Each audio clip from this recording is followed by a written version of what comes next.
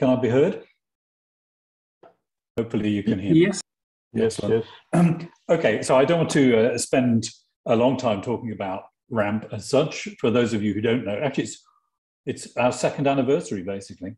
Uh, so um, obviously the pandemic was unprecedented for everyone, and um, one of the things we did early on was to try to mobilize uh, quite a large number of willing people, uh, mostly with experience in modeling in the physical sciences, to help out with the modeling efforts at then that time, which were, um, of course, being led by SPI-M and feeding into SAGE.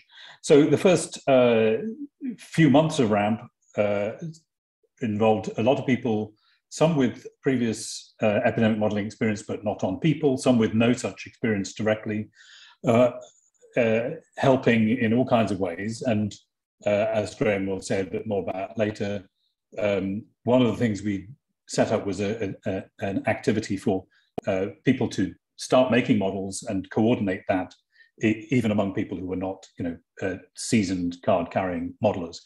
But one of the things which has been quite interesting about ramp in the uh, year and a half since that kind of intense phase um, so ramp uh, was continued through a UKRI grant called the continuity network which claire already mentioned and has now morphed into this structure, which is mostly uh, uh, organizing meetings like this one, mostly at the Newton Institute.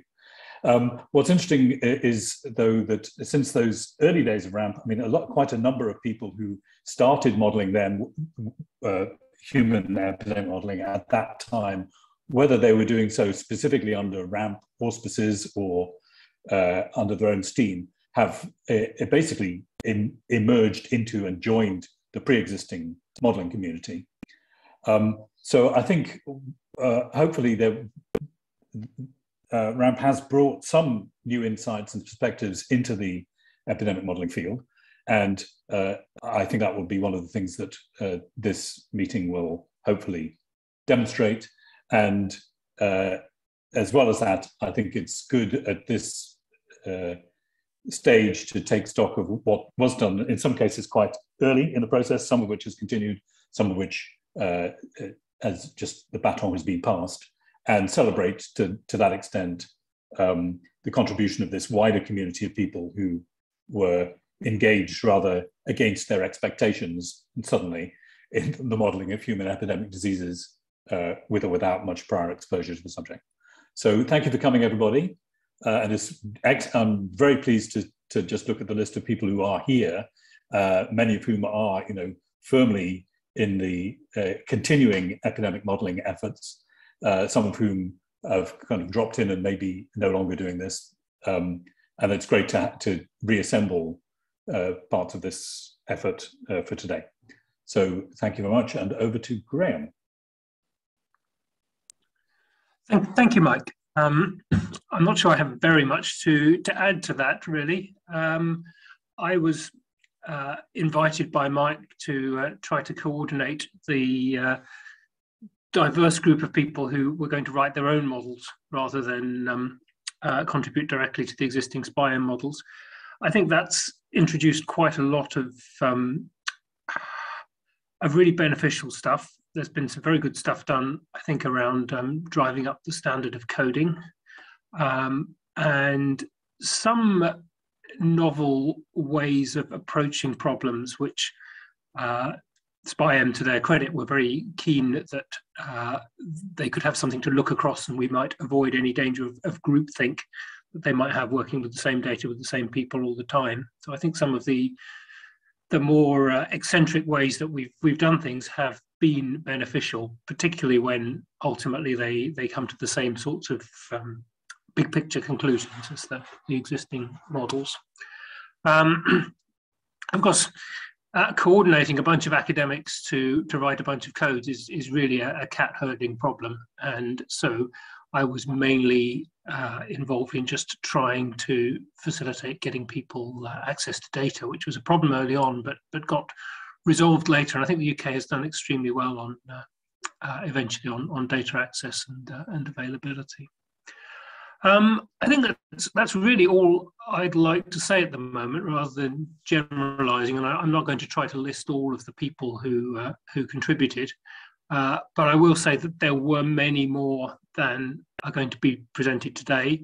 Um, uh, but I think we should just press on and uh, hear, hear, from them about the real science. So I'll, I'll pass over to um, uh, uh Gianpaolo to uh, uh, host the actual session with the real science. Okay, thank you very much. I hope that you can hear me. Less importantly, see me, but at least hear me. Just two personal comments before I begin. The first one, thank you for having me as chairman. The second one, since I mainly work abroad, with reference to Great Britain, is I would like to express my admiration for how for the shared effort of the British academia confronting the COVID epidemic, because this has not been as concerted and united in many other countries. And RAMP, I guess, is one of the examples of this common effort to do something about the COVID pandemic. So that was the personal part. So let's come go to the presentations in this first session. Once again, two comments. One is to the audience. As has been said before, if you have questions, please write them in the chat and then we'll try to make space for them in the last minutes of each talk. And for the speakers, of course, to leave a couple of minutes at the end of each talk for the questions that will be in the chat. So having said these things, I think we can move on with this first session. And do we have the first speaker somewhere? Jasmina, is Jasmina around? We it doesn't look like she's joined us just yet. Claire has chased her up, but um, she doesn't actually appear to be with us um, just no, at the moment from the list, at least I thought she had some other identity in the list, but no.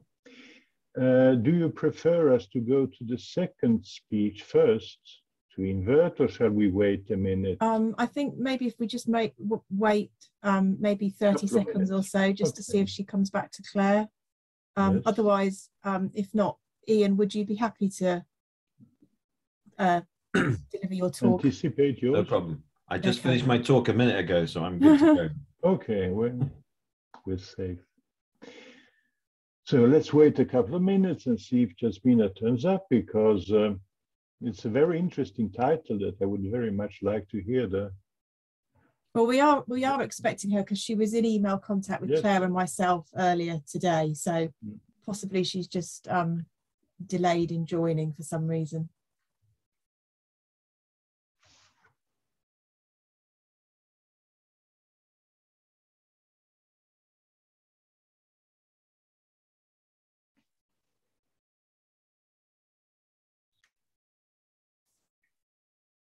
Technically she's not late yet.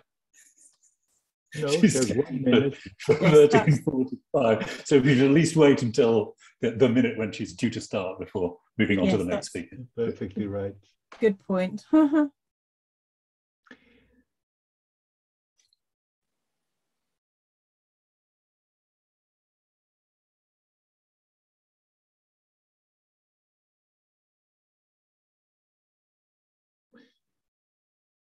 Just to allow myself a little pun, I mean, if Jasmine is slightly late for her talk, then Ian will be quite early for his talk because if the title hasn't changed, it's about June, which is still a couple of months away.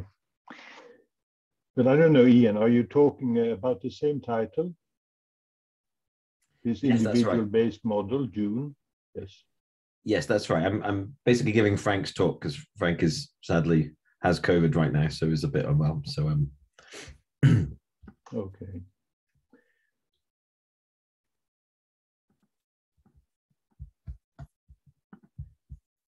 It's very confusing working on June during the month of June.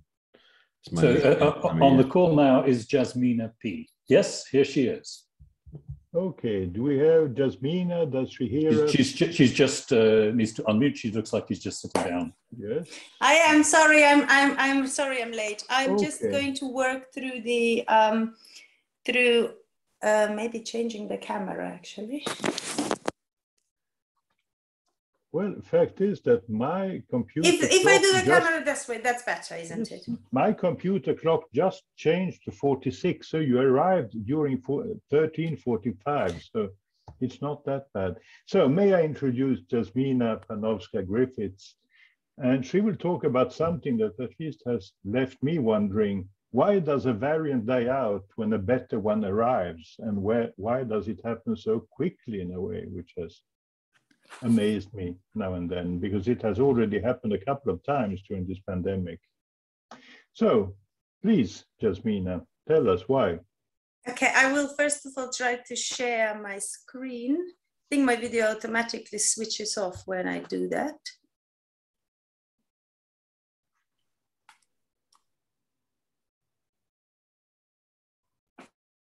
Can I just check that you can see that screen?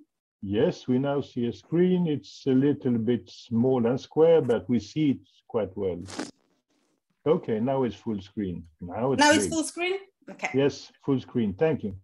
Thank you. Um, thank you so much for inviting me. It's a pleasure to be here. Um, what I will talk today is I'll give you a brief introduction to what my approach to modeling is and give you a brief introduction to a model that I've have I have helped co-develop and actively have used over the last two years. And then I'll give you two examples of recent studies, one that looked at um, one of the reasons I believe to answer that title question is the progressive transmissibility, and we've, we have been able to quantify that. And then the second one, we will explore the impact of um, how that transmissibility couples with immune evasiveness by studying the doubling rate of Omicron over um, from November, so generally over December and January 2020, uh, January, January 2022. First of all, I, I really want to make a, a, point that I think modeling is art, and therefore I think of us modelers as a type of artist, and everyone has their own signature in the way they do modeling. I visualize and I use modeling as a tool for answering, answering complex questions because I believe it gives a really good technical framework in which we can simulate different futures, which we call scenarios, but they are obviously subjected to different assumptions and caveats we make uh, you know, in terms of the parameters. Um, I think modeling has been useful and will remain useful in informing science and therefore offering a scientific advice to policy decision makers. I'm briefly going to tell you that this is not something I've just started doing, but I have been answering different modeling questions all the way through 2020. And they were varying from very early on. Why is this new virus spreading exponentially to what are the characteristics of the new variant in November 2020? And what, how should we be uh, vaccinating uh, when we started in December 2020? Um, this continued in 2021 with questions around the impact of possible st vaccination strategies, the, the impact of reopening at different stages, and specifically the delay at step four, which I will mention briefly in my talk, and then uh, studies around uh, vaccinations and whether we should be vaccinating specific cohorts and added vaccinations as well as booster vaccinations using of NPIs, non-pharmaceutical interventions such as masks um, at schools, and then um, in October, November 2021, when we realized there is Omicron spreading, what is the transmissibility, which is what I will talk about later in the talk. And um, then more recently, was uh, more recently work around sort of um, modeling around Christmas 2021 and the impact of the booster vaccination on Omicron growth. The uh, work that I will talk um, today falls in questions three and four, but really question three um, and question, and this is all about the impact of uh, what should we do with emerging variants? So in order to do something, we need to understand them better. And that, that's why the, the title question, how do we know what is driving one variant to die when a new one emerges? So I will do this via two case studies. Um, there are two parts of the first case study, one that looks at progressive transmissibility of B.1.77 versus alpha and versus delta. In the period between September 2020 and July 2021. And this work is available as a preprint and has been accepted for publications. I'm just going through the revisions, where the second one is looking more recently um, at Omicron versus Delta, and specifically the children variants of Omicron versus the Delta. And then the second one I will talk later on in the talk is about how do we, uh, if we if we look at the doubling rate of Omicron, could we have got that um, that doubling rate with different combinations of transmissibility and immune escape characteristics? And what does that tell us about potential new emerging variants? Um, a paper is very soon to be submitted that looks at contrasting the England and the South African setting on this. So just a really brief introduction for, for those that are not familiar with. So Covasim is an agent-based model that was initially developed with by the Institute for Disease Modeling, with whom I have a long-standing collaboration going back to modeling HIV, measles, and other infectious diseases. Um, it was it was the UK model initially. Now England model has specifically been developed by me, and it is one of the models that has been used for nowcasting and and will be used for producing medium term projections. Covasim stands for COVID-19 agent-based simulator. So therefore, this is a stochastic agent-based model. We think it's very simple to use and install. It's, it's written fully in Python and it's fully co compatible, can be run very quickly with a small number of simulations, up to 100 within, uh, within 40 minutes on a standard laptop. Um, it has been tested by a number of collaborators worldwide and it's fully documented. The important thing is that it's not something that we wrote on the back of an envelope as a set of equation and decided to simulate, uh, but this has been designed in partnership with public health officials, epidemiologists, and software developers. Just very briefly, because it's an agent-based models, it incorporates disease progression of individuals through different stages and dependent on age and comorbidities and at the same time ac accounts for disease transmission via the viral load to change across these characteristics. This is the main thing that affects transmissibility, which is what I will talk for the rest of the talk. Um, you can just uh, read this slide, which basically says how it has been used in the UK. Um, and it's calibrated to publicly available data, uh, models vaccine, vaccine efficacy as per the other SPI-M models. We include waning of immunity, both uh, due to infection, prior infection, and due to uh, vaccination with different doses. And it has been used to answer a number of policy relevant questions through to, uh, as I said, from 2020 all the way to now. The model for Scotland has recently been developed and is now in use for nowcast and medium term projections, uh, whereas the models for Wales and Northern Ireland are, still in development. Okay, just briefly, we are quite um, clear as, as, I'm a mathematician, and so I am very clear that the modeling that we do has to be robust and technically correct. The, the, the, term for that in modeling is calibration. So we calibrate the model at the moment by sweeping through a hyperparameter space, by looking at the parameters that make sense to change across different stages of the epidemic, and then we match them. These are just an illustration of a match over a certain period, where the sort of solid lines uh, are the, the, the model and then the sort of squares that are very kind of close so they look like a thick line on these plots are the data. Okay, so let's now kick off and give a little uh, sort of flavor of the work that we've been doing. The first example is going to talk about using the publicly available um, um, genomic data in the UK, which uh, coming from the uh, COG UK consortium in the period between September 2020 and, and middle of July 2021. Um, the, the process is statistical analysis, specifically multivariate regression analysis, where we take the counts of different variants in each of the LTLAs across England, and we use um, we used actually a number of different statistical models, but the one that we settled on at the end as the best fit model uh, was a hierarchical generalized additive model or HGAM. Um, and we use that model to allow us to quantify the differential in transmissibility between different variants by looking at the growth rate over the periods that are the same at the onset of the variant. So that was one part of the analysis and it gave results of how much more or less transmissible each new variant is. And parallel to that, we did a calibration of Covasim by seeding a new variant at the point when it emerged in England nationally. And we then compared the growth rate uh, over the periods. And we did this progressively. We calculated the growth rate within the first two weeks of occurrence, within the next uh, month of occurrence, and within the next two months, etc., as the data became more available.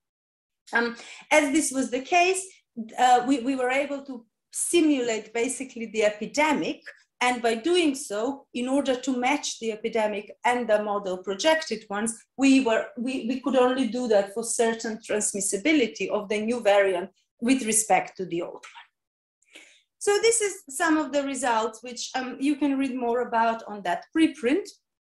So um, if we compare a variant B.1177 versus alpha and versus delta, so this is over the period September 2020 to July the 12th, 2021, we found out that um, B.177 was about 20% more transmissible than the wild type.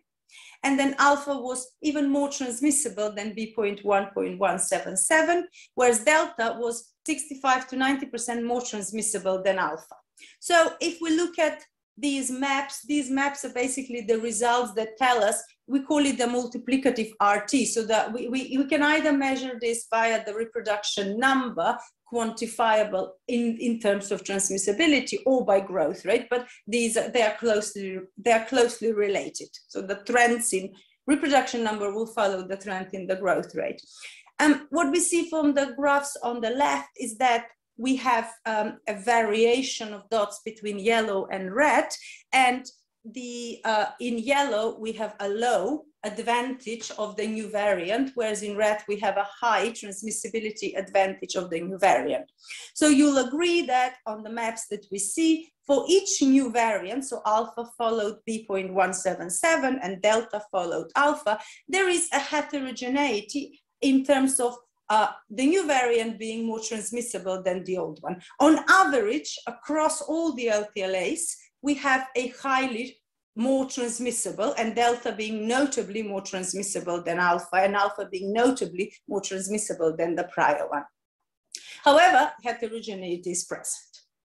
More recently, we did the same analysis where we look at the Delta versus Omicron, because our hypothesis is that the new emerging variant is going to be more transmissible. Now, the, the difference with Omicron is that Omicron kind of has split into three subvariants, which are B.1, B.1.1, and B.2. So actually the analysis which we are just preparing to submit, and this is work together with Ben Swallow at University of Glasgow, actually compared uh, B.1 with B.1.1 and them 2 with B.2, and all of those three with the delta. But what I'm showing here as results is if we just compare B.1 with delta, then it's approximately 22% more transmissible than delta. However, in some places it's less. So um, the confidence intervals, uh, the 95% confidence intervals vary between minus 15 and 99%. And that heterogeneity we can see on the first map on the right, because we see pockets uh, within the LTLAs where it's more yellow, and but the majority is red. Then on the other side, we have a B, B.2, which um, actually across all the LTLAs seems to be more transmissible than Delta. Now, as I said, we can compare B.2 with B.1.1 and with B.1, but we, at the moment we are generally comparing this one with delta in these results. And again, there is a special, there is a spatial heterogeneity, but overall 53% more transmissible with a 20 to 100%, 95% confidence interval. So this suggests that each progressive variant, each new variant is progressively more transmissible. Now, using this um, result, we then apply it, applied it in order to look at the reopening at step four in July 2021 and our and also the impact of vaccination because once we can fit the model and we know how much more transmissible, safe in this case, Delta was compared to Alpha, we can then explore what would happen if Delta hadn't come or what would happen if Delta had come and we opened in June 20, um, 2021 rather than in July 2021. So there wasn't that delay at step four. And then similarly, what would have been the case if there was no uh, the rollout of vaccination in December 2020. I think these figures are quite self-explanatory. Um, and if we just look at the um, sort of right-hand side of each of the right, right corners of each of these plots, uh, you will see, for example, if we look at the plot, plot A on the left, then the large pink wave that we see there is in absence of vaccination with opening in June, whereas uh, the light pink is a second a wave of the delta wave that is simulated uh, in presence of vaccination. That is, so on the top is uh, the, the, the, pinkish colors on the left graph represent the daily new infections, whereas the more orangey brown colors represent daily hospitalizations. On the graph on the right, we did a, a, a sort of different analysis where we compared the impact of reopening um, in June or delaying the step four reopening to July and uh, the difference again between the sort of uh, fuchsia color and the purple color uh, on the right hand side top graph is the difference if we reopened in June being the fuchsia color and if we reopened in July being the purple color. And then similarly, that is translated, but it's, it's less visible in the severe cases, which uh, are proxy for hospitalization. So the usage of the sort of uh, knowing that the emerging variant, which in this case was Delta, was more transmissible than the previous ones, allowed us to simulate projections and different scenarios going forward. Okay, so that was the first study that I talked about. And as I said, the paper is available for half of it, and the other one we are hoping to be soon available on medRxiv. The second study uh, we'll talk about some more recent work which we're just preparing to submit. And this looks at um, quantifying the effect from transmissibility and immune escape characteristics on Omicron's doubling rate. So the method here is just the COVASIM simulation model. We seated about 1,000 and we varied this number to explore whether the results were sensitive and they, they, they were not. We seeded around 1,000 Omicron infections into the population around 15th of November, and we, this was a distribution. This was the average of the distribution. And we modeled Omicron to have a shorter latent period uh, based on the generation time being shorter than previous variants. And we also assumed it to be 20% less likely to, be, um, to, to end up in hospital with Omicron. We varied the transmissibility and the degree of immune evasion in order to explore how these two dimensions affect Omicron's doubling rate. And the variations were, as the last paragraph says, there two to six times of the level of the wild type transmissibility, and then two to hundred-fold reduction in the level of NAbs. I'm just noting that we modeled differently if people were vaccinated and if people had a prior infection. So this is the results. Um, so looking across December 2021, um, this was um, sort of frozen at time when we considered the doubling rate to be 2.8, but we can repeat it easily if we look at a longer time and if we eh, look at, for example, B.1 versus B.11 or B.12, B.21. But assuming the doubling rate of 2.8 doubles per week for Omicron in England over December 2021, um, different combinations of transmissibility relative to wild and cross immunity against previous variant uh, is going to give us that doubling rate. So for example, zooming here, uh, if we look at 2.8, this can be attained with a transmissibility of four on the x-axis and a 4% immunity on the y-axis. But 2.84, which is very similar, can also be attained with a transmissibility of six on the x-axis and a higher, very much higher cross immunity of 64% on the y-axis.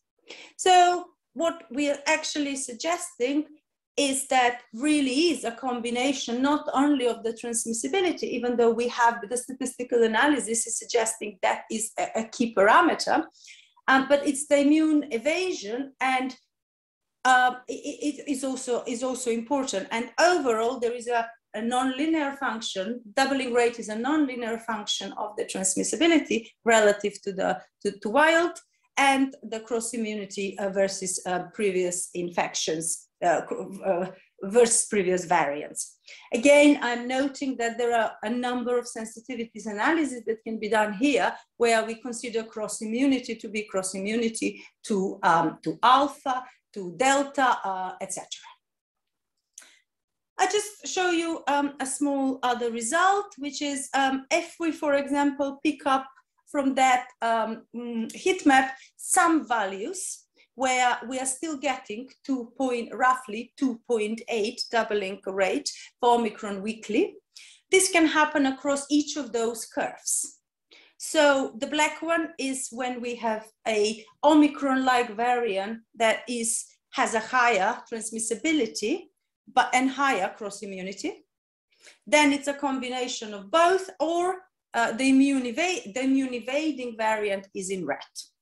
So one obvious result this is when we compare, for example, the black and the red curves, and then we see that we can have, uh, if we have a, a follow an Omicron wave driven by a highly transmissible but less immune evasive variant, get, that can happen two months earlier and much and, and larger than, for example, if we had an immune evasive variant that was less transmissible.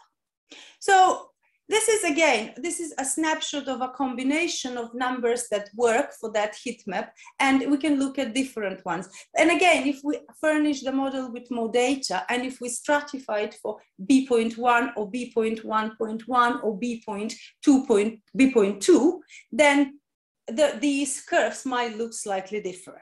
But that's the beauty of modeling because we can just tweak those parameters and do that.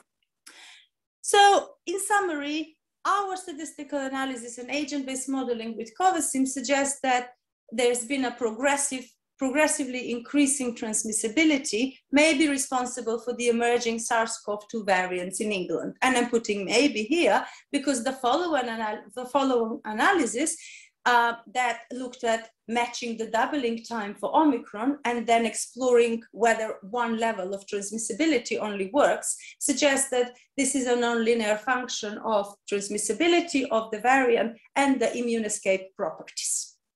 So I think we need to keep an open mind about what is making one variant die out when a new one emerges, when a new one emerges. And I think it's really important to note, so we have assumed some certain horizon of imprinted prior immunity. If we assume a different imprinted uh, horizon of prior immunity, then these results can be analogously done, but they might look different. So therefore, the paper we're looking now is contrasting these equivalent results for England and South Africa, and I hope that I'll be able to share with you soon on, uh, on medRxiv and then uh, published.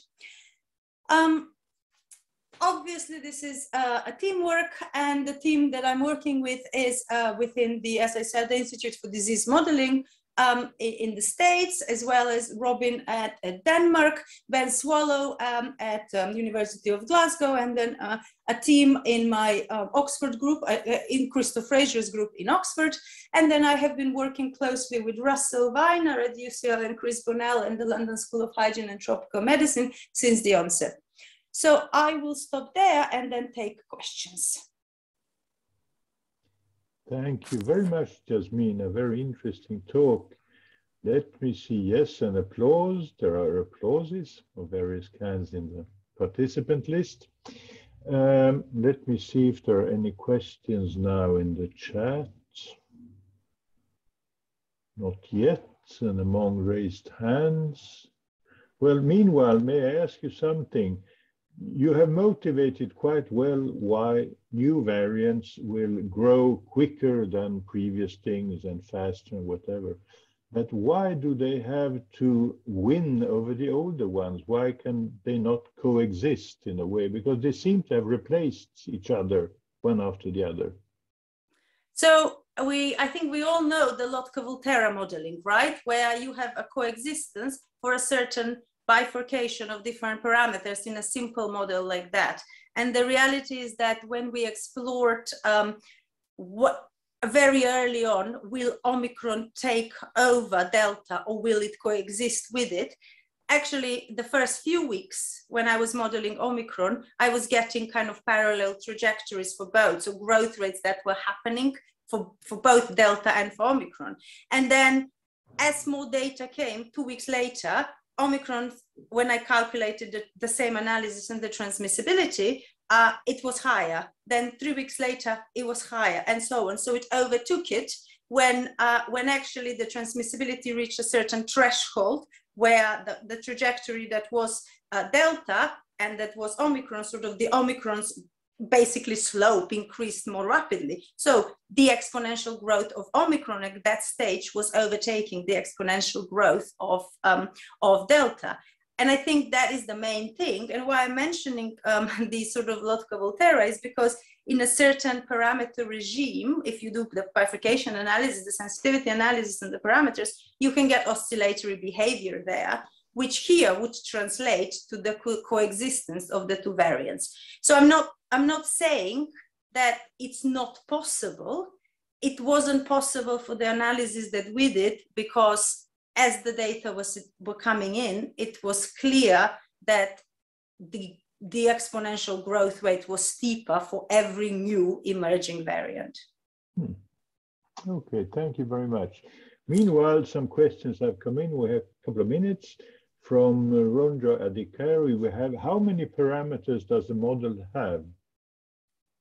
A, a, huge number. I've counted up to 50, but we, cha- we keep changing the model and we, we keep adding them. So for example, if we look at cross immunity of people who have been vaccinated with one, two, and three doses versus those that had a prior infections with alpha or delta, we've already increased that number of parameter space. So large, but I think we are these complex models are well catered to simulate large number of parameters. So there's no worry that if the number of parameters increases, we are losing on accuracy, if that's where the question was going. And uh, are these things detailed in some kind of preprint of your work? Is it already out? Yeah, so we have a paper, Covasim's work is published in PLOS Computational Biology last year. Um, and the methodology for calibrating as well as a sort of exemplar analysis is in that paper. And then my work specifically uh, for, for the early, so 2020, 2021 work focusing on opening schools, focus on use of masks and, um, and uh, the reopening um, have been published, well, have been published 2020, 21, and more recently um, in January. Okay, a quick one from Graham. Does Covasim have both Omicron and Delta at the same time? In the simulation. Has Omicron and Delta, Delta, at the same time? It does have them. So we, we have within the model different variants competing with each other. And that's why we were able to look at uh, when one will, uh, will, will overcompete the other. Okay. There was another question, but I can answer that in the yeah. chat. Okay, yes, there are some uh, well, yes, we are approaching 15, uh, 14, 15 British time. Um, Mike so, has his hand up. I don't know. Yes, maybe there are two questions left, one from Carl Whitfield and one from Kirsty Bolton. If you answer them in the chat, I think uh, they will both be happy. Thank you very much, Jasmina. Thank you for having me. And now, um, something completely different. Uh, no, maybe not. But anyway, Ian Vernon will present